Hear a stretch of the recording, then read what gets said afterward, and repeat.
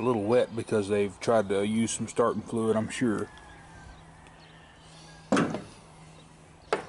Let's go ahead and get out the trusty cylinder leakage tester and I'll show you all how to uh, set this up. You can buy these uh, pretty on anywhere. You can get them at an auto store. I think Harbor Freight sells one.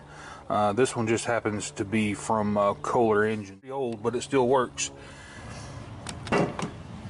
Go ahead and get your test uh, hose screwed in. As you can tell, it's got an O-ring here and an O-ring. This is 14 millimeter threads, and this is what 16 or 18. I can't remember what size spark plugs the bigger size is. But go ahead and just th thread this in and you don't have to over tighten it just thread it until it butts up against the o-ring and just give it a little twist like that and that's plenty what you want to do want to hook your uh, your tester up to shop air it can be at any psi 150 whatever and what you want to do you want to unlock your regulator and you want to turn this clockwise until this goes all the way to set we're not worried about this gauge right now. Actually, this gauge doesn't do anything. It just shows you what your shop air is. So just keep turning until it gets to set all the way to zero. Anywhere in that yellow. See if you go a little bit too too far past you can turn it back the other way. And I like to get it as close to zero as possible.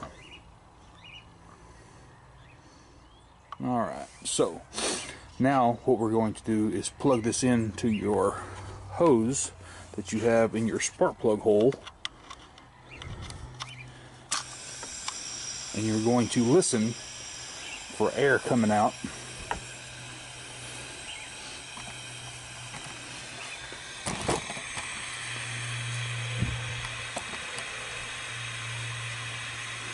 pop the air filter off.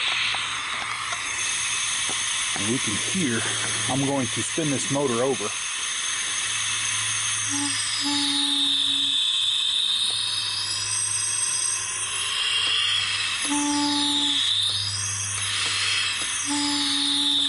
So we have an abundance of air coming through the carburetor.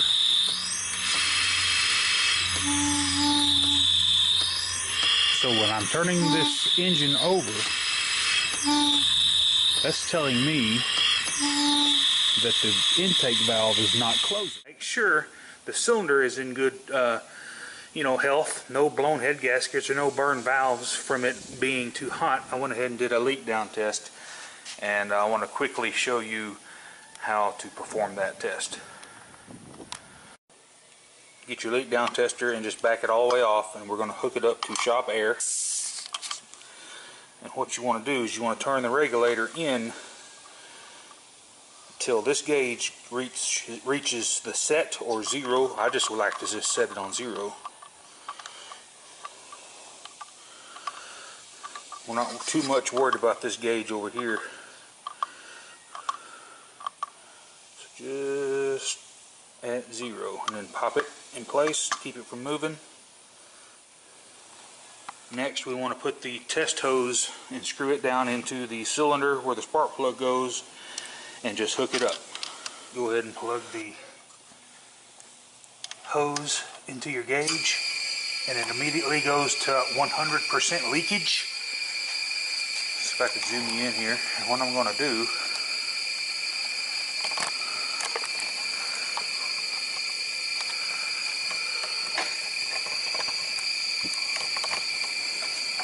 going to take a, uh, a wrench on the crankshaft and literally turn the engine over.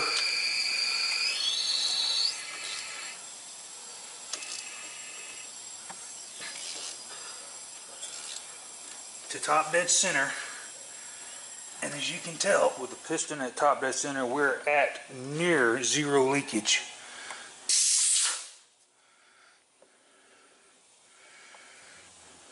and when you get done just back your gauge off. Don't want to leave pressure on your regulator. This lawnmower's under warranty.